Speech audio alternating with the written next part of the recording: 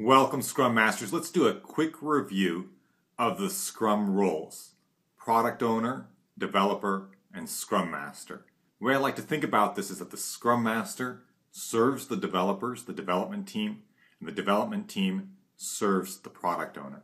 So let's start off with the product owner.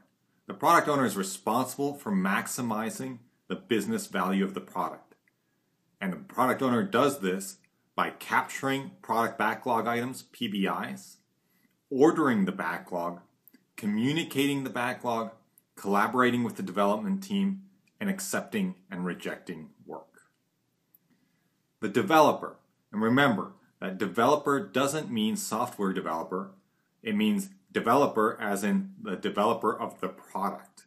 So it includes everyone on the team Scrum doesn't make any distinctions between testers and BAs, and it's in fact incorrect to have sub teams of folks on a development team.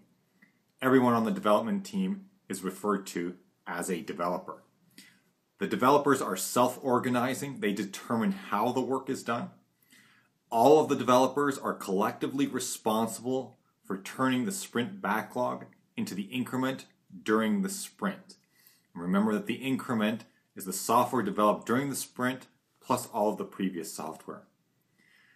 And finally, we have the Scrum Master. That's you.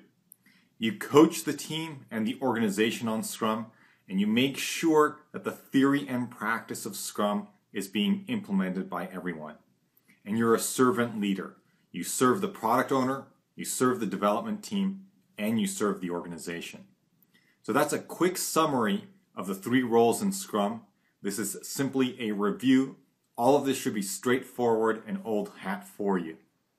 Here are your next steps. I recommend that you schedule your 25 minute one on one coaching call with me this week. Here's my contact information. And the next thing you're going to be doing in this section is watching the five Scrum events video and the three Scrum artifacts video. Enjoy.